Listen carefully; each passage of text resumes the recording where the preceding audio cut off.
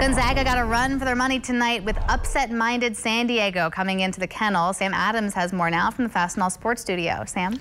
Yeah, with Gonzaga already trailing St. Mary's by a game in the West Coast Conference standings, the Zags could ill afford a second conference loss tonight in the kennel. The 14th ranked Bulldogs were playing host to San Diego.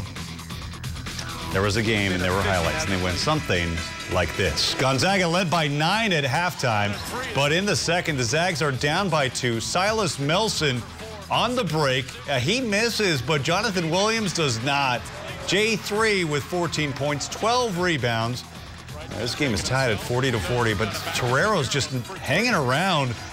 Zags are up four, but that's a three by Isaiah Pineiro. It's a one-point game but Gonzaga closes strong up four. That's a dagger from Zach Norvell Jr.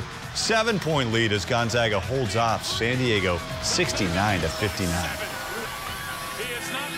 It was tough. I think it was a, one of those grinded out victories where you, you know, it's, you know, really a lot of hard hitting out there, a lot of tough plays being made, and I think, you know, as a whole, we responded well all game because we knew San Diego's a physical team, and you know, if we tiptoe into a game like this, you know, we can lose it. So I think we came out pretty strong.